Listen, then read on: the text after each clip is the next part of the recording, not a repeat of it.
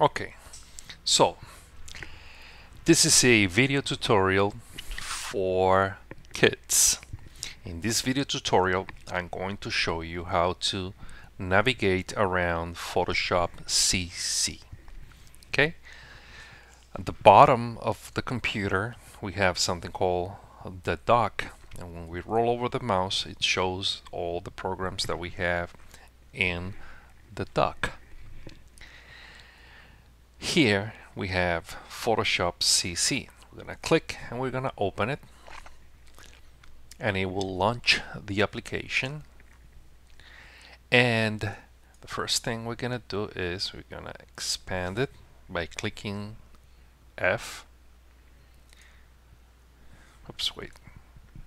Alright doesn't work in this mode yet because we don't have an image open so we're gonna open it right here all the way so we can visualize what we have. All right. So here at the left of the uh, work area we have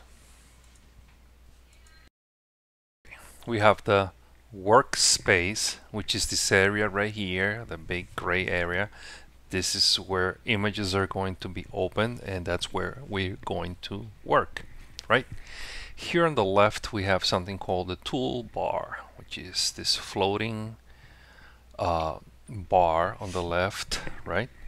And then on the right hand side we have the palettes or the palettes okay? Since I was doing some work previously I have it organized this way, but you can pretty much organize any way you want it.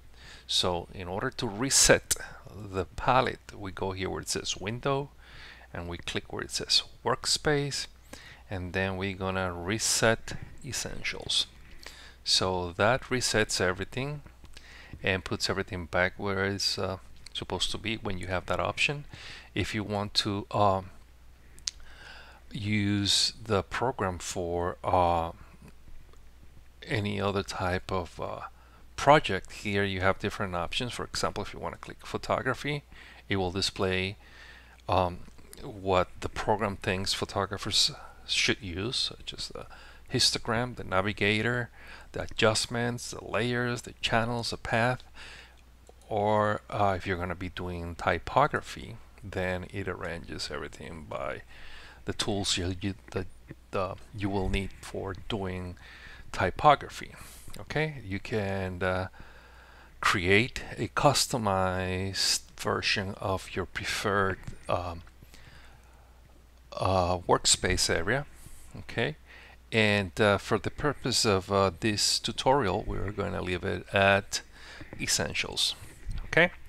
So now um, let's open an image and do a little bit of uh, you know few modifications to it so we learn how to navigate the program, know where everything is and how to use it. Okay, so um, in order to open an image, yeah, there are several ways, but the easiest way, or one of them, is to click here where it says File, and then you go Open, and then you navigate to where you have an image.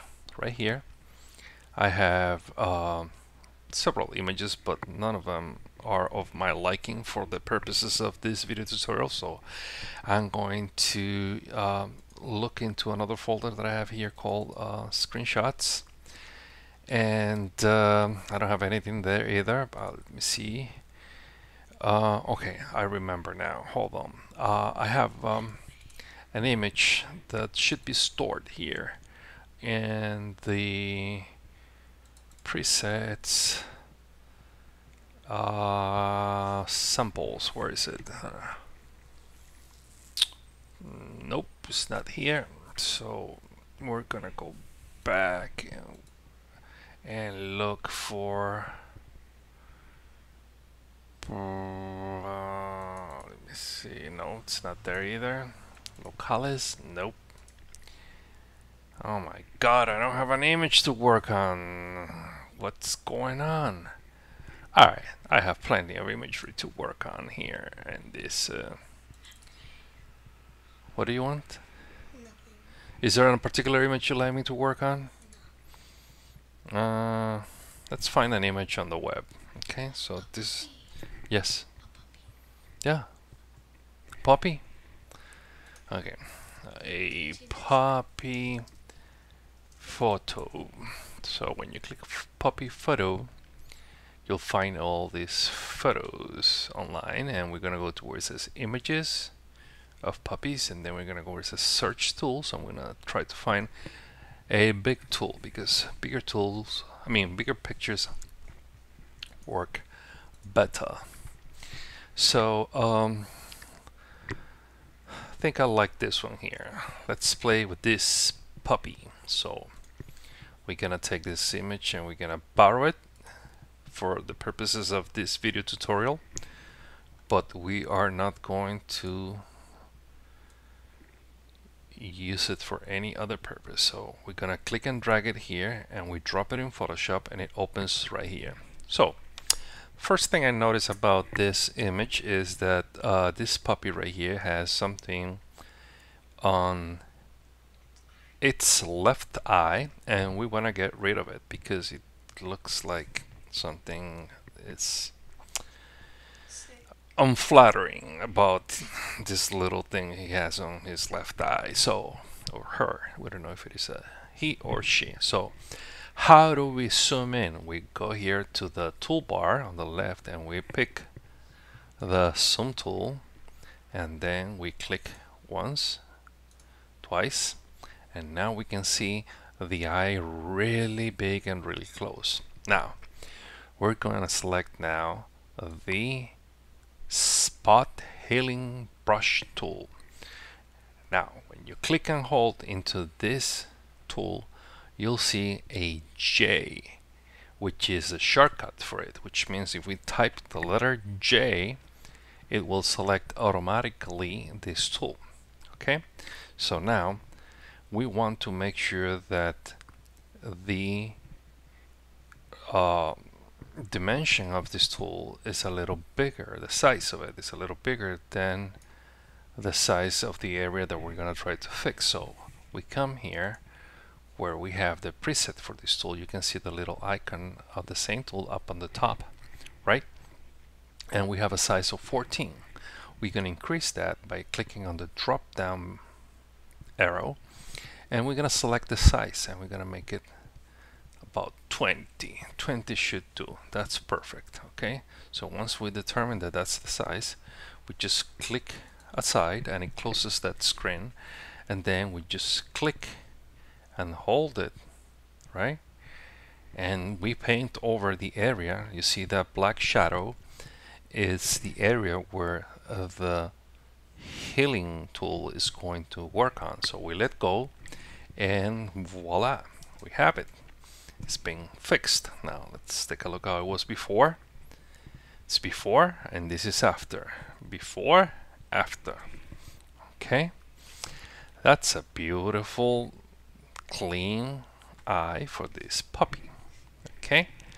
Now let's say that we want to make the eyes a little clearer right they're a little dark and I feel that they would look much better if we lighten them up a little bit, right? So we're gonna go here to this tool, which is now selected as the burn tool, but we don't want to burn. What we want to do is we want to dodge. Dodge is a term in photography used for taking away light from the exposure. So when we click in there, we have immediately a change up here and now we have the preview for the dodging tool. It looks like a little circle and a little handle and that's what photographers would use back in the days when dark rooms were used for printing. And uh, we have a size of uh, 65 let's make it a little bit smaller. So here we go and we make it let's make it 40 okay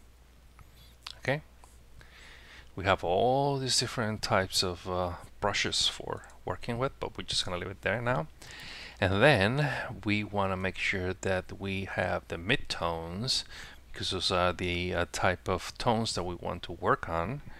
And we're going to have an exposure of 50% which is half of the strength of how this tool works. So we're going to come over here to the eye. Let's zoom in a little bit so we have a better view again. We click on the magnifying glass tool or the zoom tool and then we go back to our dodge tool.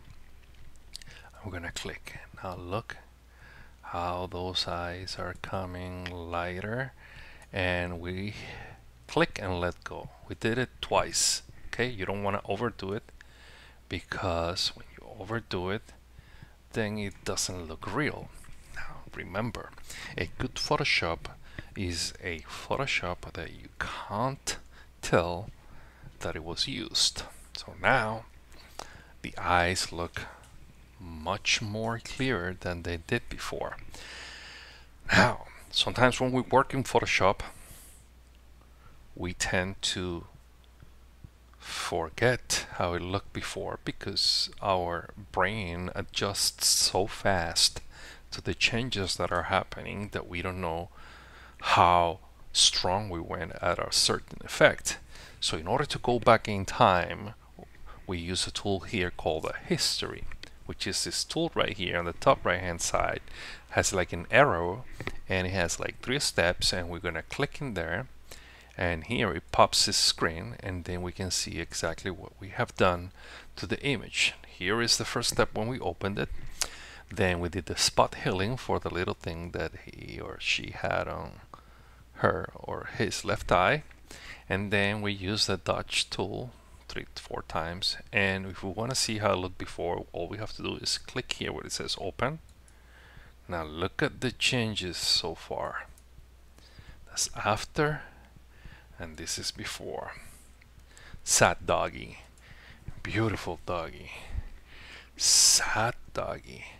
Beautiful doggy. All right. So now we have brighter eyes and clean eyes. Right?